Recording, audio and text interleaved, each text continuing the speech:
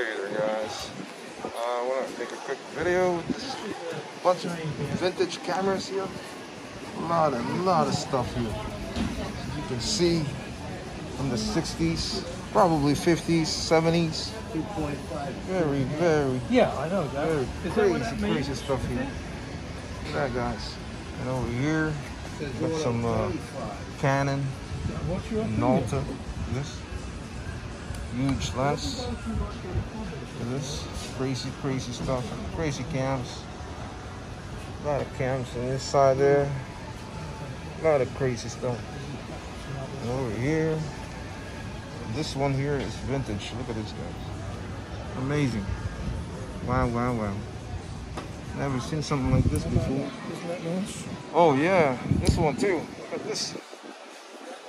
Jesus. From the 60s? From the 60s? Looks like No, it. before it's like vintage. No, it is much before the 60s. 40. Probably about the 40s.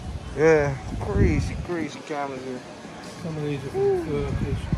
Yeah. I I have as far back as 1890. Oh wow. Amazing. Jesus, man, look at this. I've never seen cameras like this. I've seen the new ones, but not like this one. Look at this one here. Crazy, crazy stuff. Gentleman is trying to fix the lenses over there. Well, obviously, he knows what he's doing. Got tripods.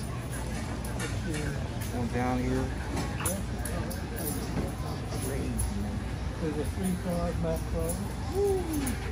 Probably That one that. there. Look at that one there. Crazy, crazy stuff. No, this is a 2.8 100. Is this a motor drive or an auto one? There is only one. There is There you only go, guys.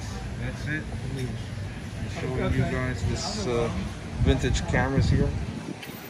Never seen before. More here.